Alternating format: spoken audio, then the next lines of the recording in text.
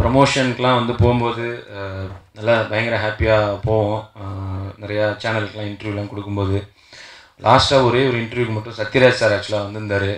அவங்க முன்னாடி உட்காந்துருந்தோம் அப்போ உட்காந்துருக்கும்போது கேட்டேன் என்ன சார் இதுக்கு முன்னாடிலாம் வரவே இல்லை. அடைய அவன் அதுக்கெல்லாம் போயிட்டு சும்மா வந்து அங்கே புகழ்ந்து புகழ்ந்து பேசிகிட்டு இருக்கணும். ஆமாம் சிபி நல்லா நடிச்சிருக்கான்னு சொல்லணும். சதீஷ் காமெடி பண்ணியிருக்கான்னு சொல்லணும். அதெல்லாம் நமக்கு ஒரு மாதிரி கஷ்டமாக இருக்கும் பண்ணிட்டாரு அதில் வந்து என்னடா இது அப்படின்ட்டு உள்ளே வந்து அந்த மாதிரி தான் பேசினார். ஆமாம் நல்லா இருக்கும் படம் நல்லா இருக்கும். வந்து நீங்கள் நல்லா இருக்கும் அப்படின்ற மாதிரி. ஸோ வந்து ஸோ யோசிச்சு பார்த்தா அப்படி தான் மாற்றி மாற்றி புகழ்ந்து தான் இருக்கும். பட் இந்த படத்துக்கு கொஞ்சம் தைரியமாகவே புகழலாம் தான் நினைக்கிறேன். எல்லாமே நல்லா தான் இருக்குது இவங்களும் சமயா ஐ மீன் ரம்யா நம்பீசன் அவங்க வந்து ஆக்சுவலாக அதான் அந்த ஒரு போல்டான மூவ் தான். ஒரு குழந்தைக்கு அம்மாவாக நடிக்கணுன்றது அவங்க ஆல்ரெடி நடிச்சிட்டாங்க சேதுபதியில். பட் இதில் இன்னும் சிறப்பாகவே இருக்கும் அவங்களோடதும். அப்புறம் வரலட்சுமி இதில் ஒரு நல்ல ரோல் பண்ணியிருக்காங்க. அவங்க இன்றைக்கி வரல ரெண்டு மூணு ப்ரொமோஷனுக்கும் வரல. நாங்கள் பொதுவாகவே அவங்கள வராத லட்சுமின்னு தான் சொல்லுவோம்.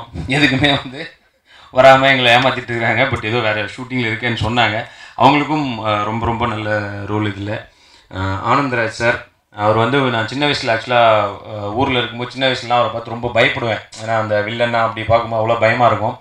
இப்போவும் பயப்படுறேன். ஏன்னா எங்கள் வேலைக்கு வந்துட்டார் அவர்.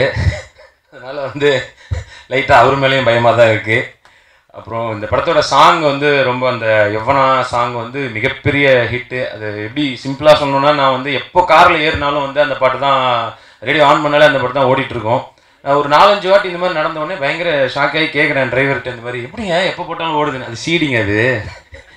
அப்படின்ட்டு ஐயோ அப்படியா? அப்படின்ட்டு.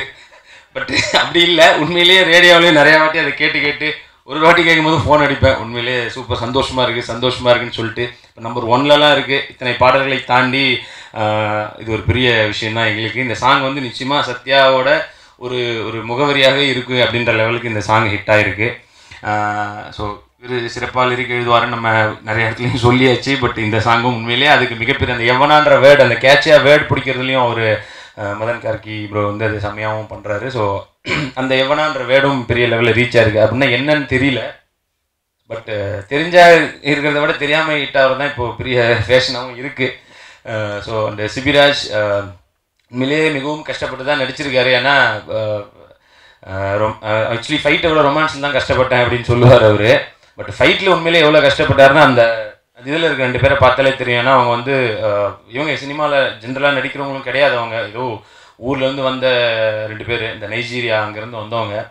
ஸோ அவங்க வந்து ஆக்ஷன் ஒன்று ஒரிஜினலாக அடிக்கிற மாதிரி வச்சார் எடுத்தோடனே சொன்னோடனே பாவம் அப்படியே அப்படி கலங்கி போய் அவருக்கு. அந்த மாதிரி தான் இருந்தது. அதுக்கப்புறம் சொல்லி கொடுத்து இல்லை இப்படிலாம் பண்ணக்கூடாது. இது வந்து நடிப்புலாம் சொல்லி கொடுத்து அந்த லெவலில் ஸோ உண்மையிலேயே எல்லா வகையிலையும் கஷ்டப்பட்டு நடிச்சிருக்காரு.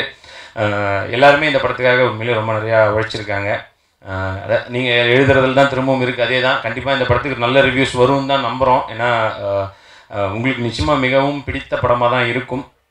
ஸோ கண்டிப்பாக நீங்களும் நல்லபடியாக எழுதி இந்த படத்தை ஒரு ஹிட் படம் ஆகணும்னு கேட்டுக்கிறேன். டைரக்டராக தான் வரல. அவர் உண்மையிலே இந்த படத்தை பொறுத்த வரைக்கும் எங்களுக்குலாம் நல்ல பேர் வந்தாலும் கெட்ட பேர் வந்தாலும் நிச்சயமாக அவரே தான் சாரும். ஏன்னா அவர் என்ன சொன்னாரோ அதை தான் பண்ணியிருக்கோம். நல்ல பேர் வரும்னு தான் நம்புகிறோம் ஸோ நல்லபடியாக எழுதுங்க. ஹிட் ஆகிறதுக்கு உதவி செய்யுங்கள். நன்றி.